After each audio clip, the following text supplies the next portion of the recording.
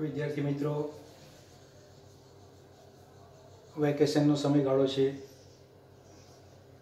તમે લોકો ફ્રી હશો. પણ વિદ્યાર્થીનું જીવન એટલે વિદ્યા માટેની હંમેશા તત્પરતા જોઈએ. જેમ સૈનિક હોય તો તેને લડવું પડે. ડૉક્ટર હોય તો તેને સારવાર કરવી પડે. તેમ તમે વિદ્યાર્થી છો તો તમારે રોજે રોજ થોડો થોડો પણ અભ્યાસ કરવો જોઈએ. તો એ અભ્યાસ કરવાના હેતુસર તમે હવે ધોરણ સાતમાંથી આઠમા ધોરણમાં આવશો. તો તમે પૂર્ણાંક સંખ્યાઓ, એની ક્રિયાઓ, એના વિશેનો પરિચય તમે મેળવેલો છે. હવે વધુમાં તમે સમય સંખ્યા, એના વિશે તમે જાણો. સમય સંખ્યા કોને કહેવાય હતી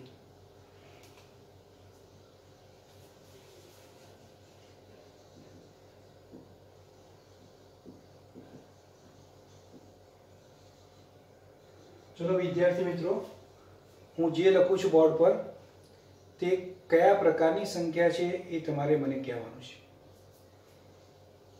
એને કઈ સંખ્યાઓ તરીકે ઓળખીએ છીએ?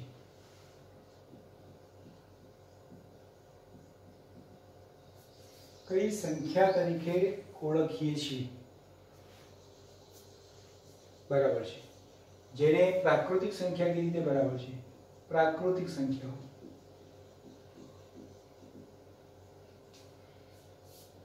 શૂન્ય એક બે ત્રણ. આ રીતની સંખ્યાઓ જે આવે તેને આપણે કઈ સંખ્યાઓ કહીશું? તેને આપણે કહીશું પૂર્ણ સંખ્યા.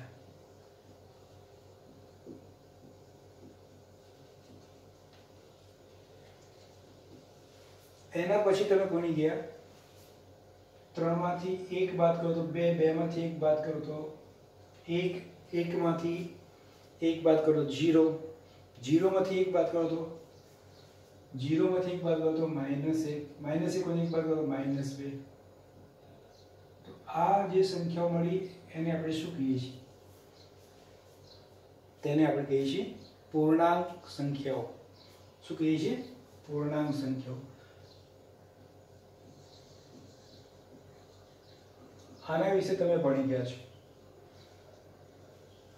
પૂર્ણાંક સંખ્યાઓ, તેના ગુણધર્મો, તેના ગુણધર્મોનો ઉપયોગ કરીને કિંમત શોધવી, તેને સંખ્યા રેખા પર દર્શાવવી. હવે એનાથી આગળનું એક સ્ટેપ છે, તે એટલે સમય સંખ્યાઓ. સમય સંખ્યાઓ કોને કહેવાય? આ આપણો આજનો વિષય છે, જે ખૂબ અગત્યનો છે, સમય સંખ્યાઓ. એના પછી તમે આગળના ધોરણમાં જશો, દસમા ધોરણમાં. ત્યારે તમને વાસ્તવિક સંખ્યાનો વધારે પરિચય મળશે. અને અગિયારમાં બારમામાં જશો, ત્યારે તમને કાલ્પનિક સંખ્યાઓનો પણ અભ્યાસ થશે. પણ સમય સંખ્યા કોને કહેવાય? તો પ્રાકૃતિક સંખ્યાઓ બધી જ પૂર્ણ સંખ્યાઓમાં આવે છે. પ્રાકૃતિક સંખ્યાઓ બધી જ પૂર્ણ સંખ્યામાં આવી જાય છે. અને પૂર્ણ સંખ્યાઓ બધી જ પૂર્ણાંક સંખ્યામાં આવે છે. તો હવે નેક્સ્ટ જે સમય સંખ્યાઓ બતાવવાની છે તે બધી જ એની અંદર તો આવશે જ. પ્લસ અપૂર્ણાંકો આવશે, ધન અપૂર્ણાંકો અને ઋણ અપૂર્ણાંકો. એ પોઈન્ટવાળા દશાંશ સ્થળવાળા પણ આવે અને તે પુનરાવર્તિત થતા દશાંશવાળા પણ આવી શકે. તો તેને કોમન રીતે લખવામાં આવે છે, જો પી અપોન ક્યુ જો પી અપોન q જ્યાં q is not equal to 0 નીચેની છેદની સંખ્યા શૂન્ય ન હોવી જોઈએ તથા p અને q પૂર્ણાંક હોવા જોઈએ p અને q પૂર્ણાંક લેશું આ પૈકીના કોઈ પણ હોઈ શકે p અથવા q તમે અહીંયા આગળ માઇનસ એક લખી શકો અહીંયા માઇનસ બે લખી શકો અહીંયા એક લખી શકો અહીંયા માઇનસ ત્રણ લખી શકો અહીંયા આગળ જીરો લખી શકો, પણ નીચે જીરો લખવાનો નથી. તો આ રીતે તમે જે દર્શાવશો, તો જ્યાં પી અને ક્યુ પૂર્ણાંકો છે, તો તેવી પી અપોન ક્યુ ને શું કહેવામાં આવે છે? સમય સંખ્યા કહેવામાં આવે છે.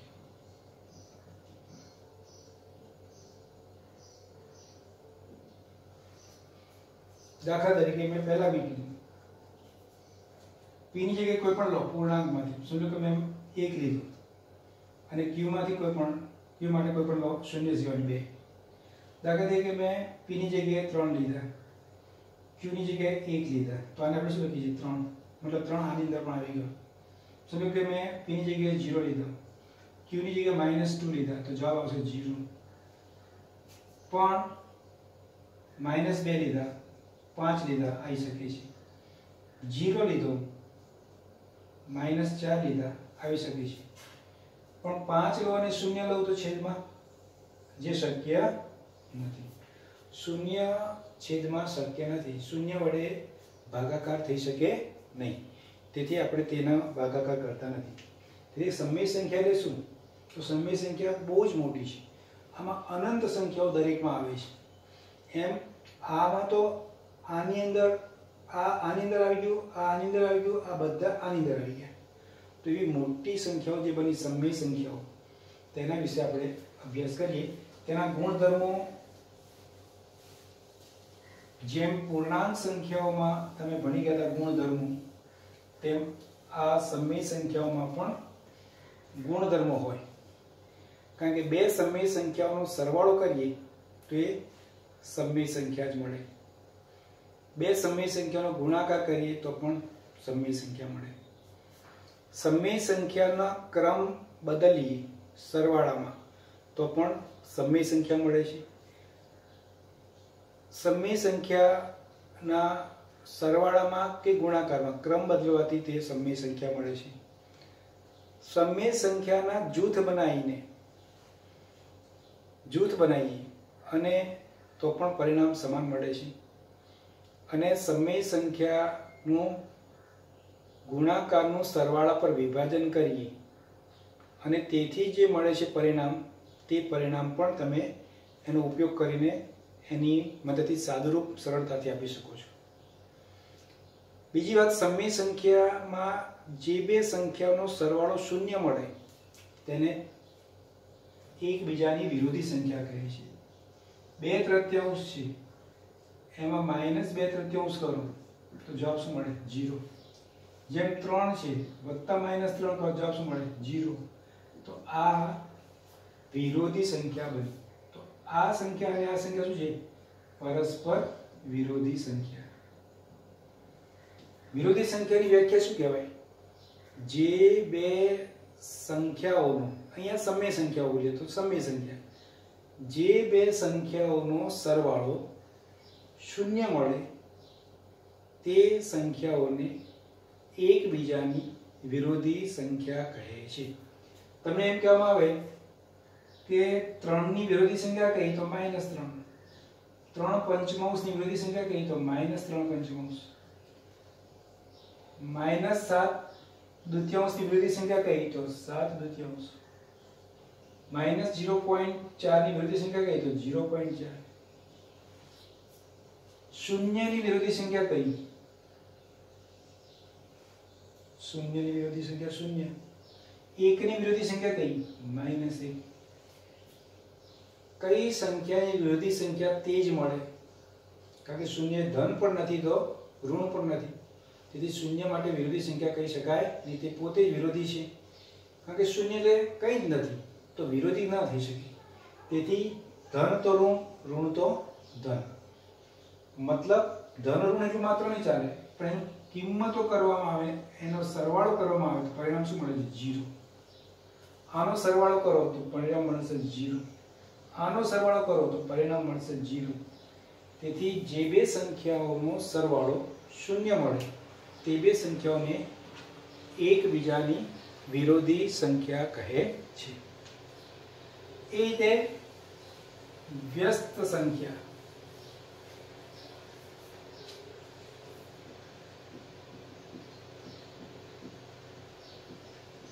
વ્યસ્ત સંખ્યા કોને કહેવાય? તો જે બે સંખ્યાઓનો ગુણાકાર એક મળે, તેને પરસ્પર વ્યસ્ત સંખ્યાઓ કહે છે. બે તૃતીયાંશ છે. ગુણાકારમાં ત્રણ તૃતીયાંશ. ગુણાકાર કરો ત્રણ ત્રણ કેન્સલ, બે બે કેન્સલ, સરખો ભાગાકાર. જવાબ મળશે એક. જીરો ના મળે. ધારો કે શું કહે ત્રણ ત્રણ કેન્સલ કરશે, બે બે કેન્સલ કરે જીરો નહીં. અહીંયા સરખી સંખ્યા નથી, વ્યસ્ત સંખ્યાઓ છે. તેથી ગુણાકાર અહીંયા મળશે એક.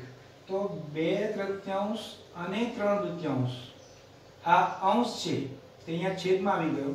આ છેદ છે, અહીંયા અંશમાં જતો રહે તો આવી સંખ્યાઓ, બે તૃત્યાંશ અને ત્રણ દૃત્યાંશ એ પરસ્પર વ્યસ્ત સંખ્યાઓ કહેવાય. પરસ્પર વ્યસ્ત સંખ્યાઓ કહેવાય. કોઈ એમ કે માઇનસ પાંચ ચતુર્થાંશ, તો એની વ્યસ્ત સંખ્યા કઈ? તો માઇનસ ચાર પંચમાંશ. આ બંનેનો ગુણાકાર દો પાંચ પાંચ કેન્સલ ચાર ચાર કેન્સલ માઇનસ એટલે માઇનસ એટલે ઘણા વિદ્યાર્થીઓને વિરોધી સંખ્યા અને વ્યસ્ત સંખ્યામાં કન્ફ્યુઝન થાય છે. વ્યસ્ત બોલે ત્યારે તેના અંશ અને છેદને ઉલટાવાના છે. અને વિરોધી બોલે ત્યારે તે ધન હોય તો એને ઋણ કરવાની છે, મૂલ્ય સેમ રાખવાનું છે. કોઈ એમ ધન અને ઋણ એવું વિચારે ખાલી, તો બે ની વિરોધી સંખ્યા માઇનસ ત્રણ કહેવાય. આ ધન છે, આ ઋણ છે. ન કહેવાય, મૂલ્ય જુદા છે, આનું મૂલ્ય બે છે, આનું મૂલ્ય ત્રણ છે. માઇનસ ત્રણ છે, આવું ના ચાલે. પણ અહીંયા શું જોઈએ? ત્રણ હોય તો જ સરવાળાનું પરિણામ ઝીરો મળે, તેથી તેને વિરોધી સંખ્યા કહેવાય. અહીંયા હંમેશા જવાબ એક મળવો જોઈએ.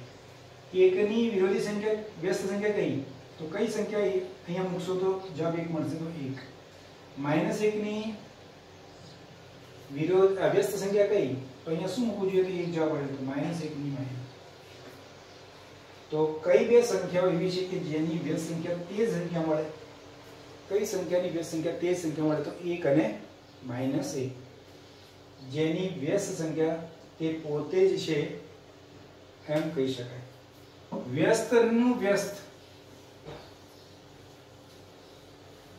તો એ મૂળ સંખ્યા બનશે. કોઈ સંખ્યા વ્યસ્ત છે, અને એનું પણ વ્યસ્ત કરીએ શું થાય. શું કે બે તૃતીયાંશ છે? તેની વ્યસ્ત કરો. તો તેની વ્યસ્ત છે ત્રણ તૃતીયાંશ બરાબર છે? હવે આની પણ વ્યસ્ત કરો. તો શું થશે?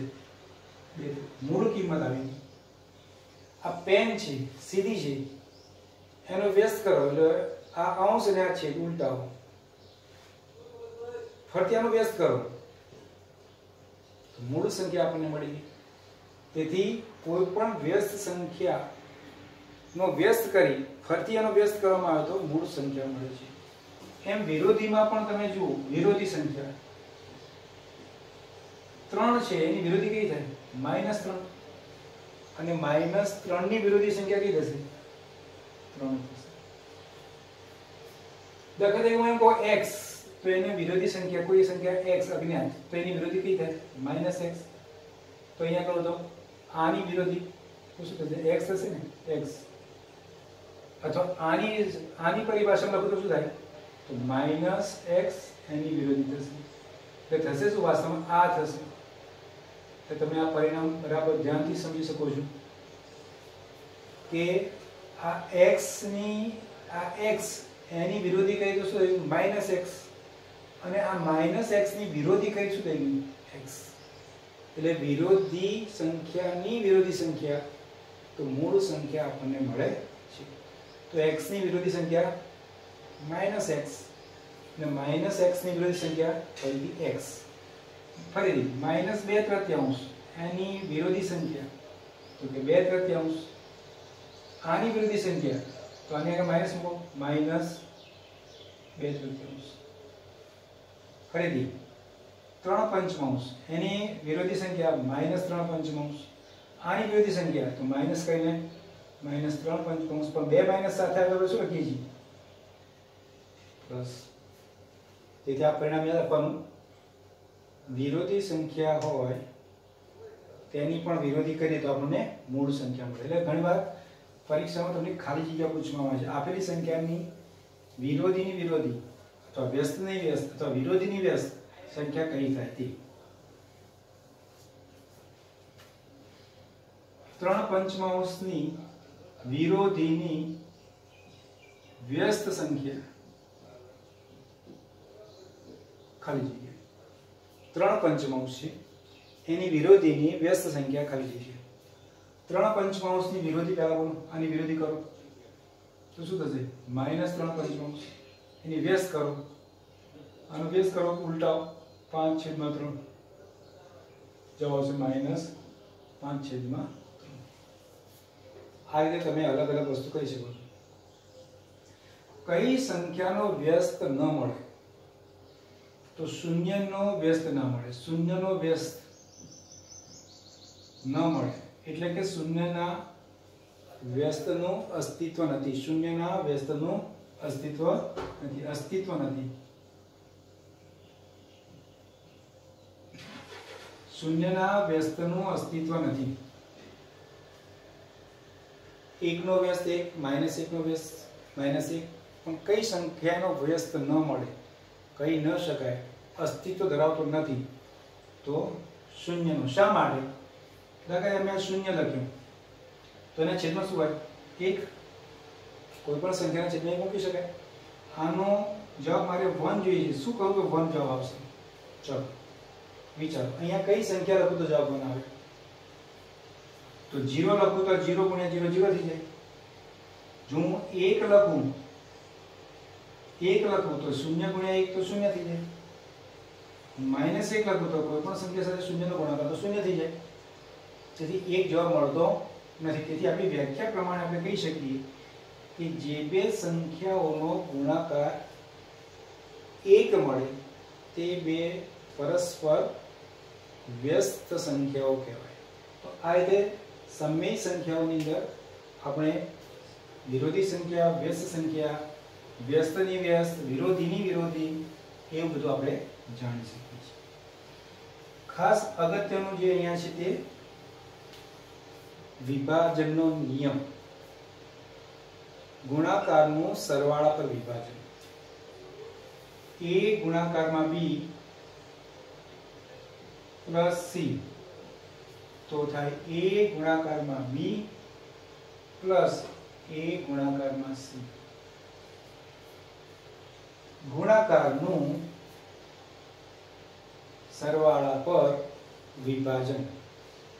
ગુણાકારનું સરવાળા પર વિભાજન. તો અહીંયા આ રીતે લખી શકાય.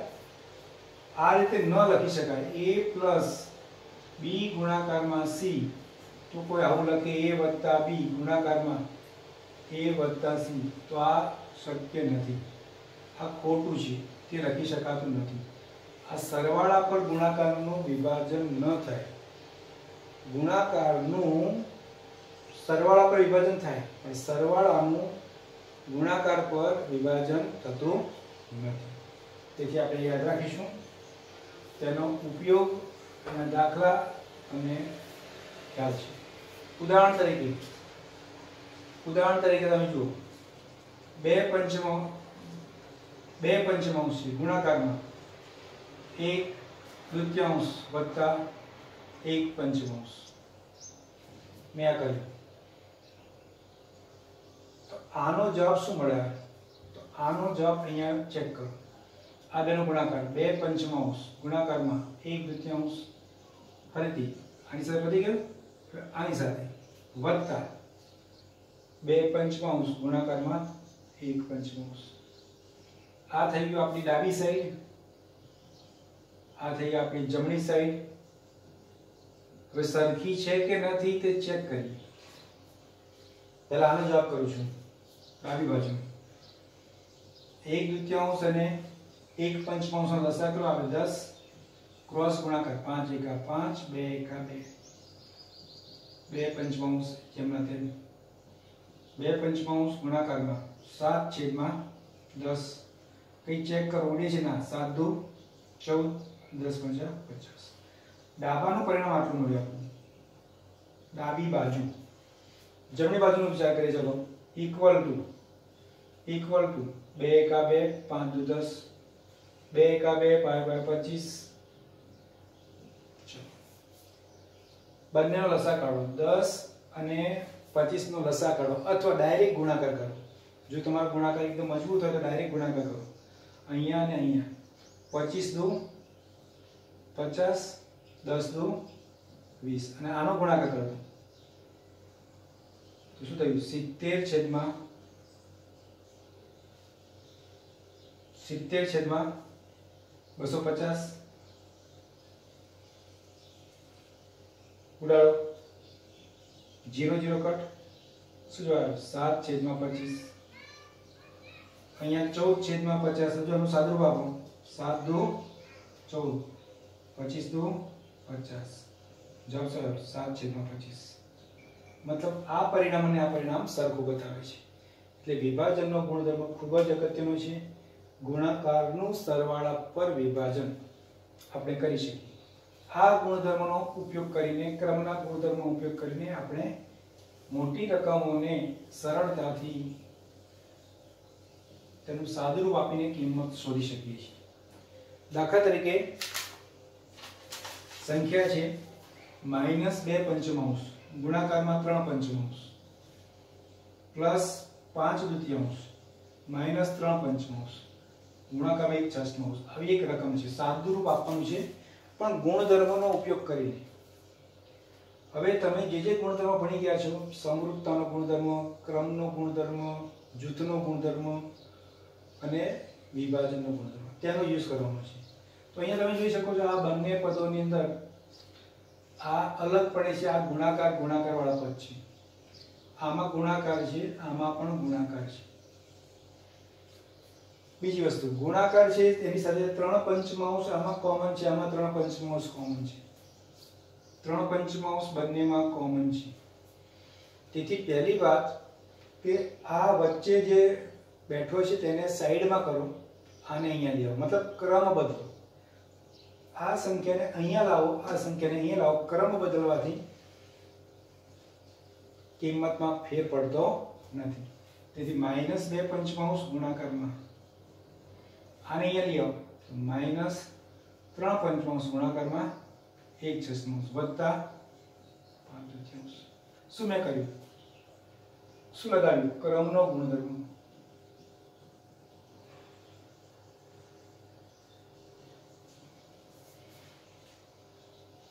ચલો, હવે કોણ સરખું છે અંદર? આ સરખું છે ને આ સરખું છે? ત્રણ પંચમાંશ. વિભાજનના ગુણધર્મનો ઉપયોગ કરો. જો સમાન હોય તો શું થાય? બહાર નીકળી જાય. તો ત્રણ પંચમાંશ સમજો કે બહાર આવી ગયા. તો બાકી શું રહ્યું જો ગુણાકાર. તો ત્રણ પંચમાંશ ત્રણ પંચમાંશ બાર ફરીથી. એ ગુણાકારમાં બી પ્લસ સી, બરાબર, એ ગુણાકારમાં બી અને a ગુણાકારમાં c જો આ બે સમાન શું થાય? એને બહાર કાઢો બાકી કોણ લખી નાખવાનું? B અને c ને અંદર લખવાના રહેશે કૌંસમાં. તો આ અને આને કૌંસમાં લખવાના. તો માઇનસ બે પંચમાંશ, માઇનસ બે પંચમાંશ અને બાકી કોણ રહ્યું? માઇનસ એક છષ્ટમાંશ ફરતી જે હતું તે નિશાની સાથે મૂક્યું છે. માઇનસ બે પંચમાંશ. આને તમે બહાર કાઢી લીધું. આ મેં બહાર કાઢી લીધા છે. જોઈ લો, શું બાકી રહ્યું? આ અને. ગુણાકાર પણ મેં કોમન કાઢી લીધા છે. ગુણાકાર કોમન કાઢ, ત્રણ પંચમાંશ ગુણાકાર કાઢી લીધા છે. તેથી અહીંયા આગળ શું બાકી રહેશે? તો આ માઇનસ બે પંચમાંશ અને માઇનસ એક છસમાંશ વત્તા પાંચ તૃતીયાંશ એ જ પ્રમાણે. અહીંયા કયા નિયમનો યુઝ કર્યો મેં? વિભાજન. શેનો યુઝ કર્યો? વિભાજનનો ગુણધર્મ. વિભાજનનો ગુણધર્મ જ્યારે જ્યારે બોલીએ ત્યારે ગુણાકારનું સરવાળા પર વિભાજન. એવું વિચારીએ છીએ. ત્રણ પંચમાંશ. પહેલા કૌંસની અંદર ક્રિયા કરો. છ પંચા ત્રીસ. લસા. છ દુ બાર. પાંચ એકા પાંચ. ફરીથી ત્રણ પંચમાંશ. ગુણાકાર. માઇનસ સત્તર છેદમાં ત્રીસ વત્તા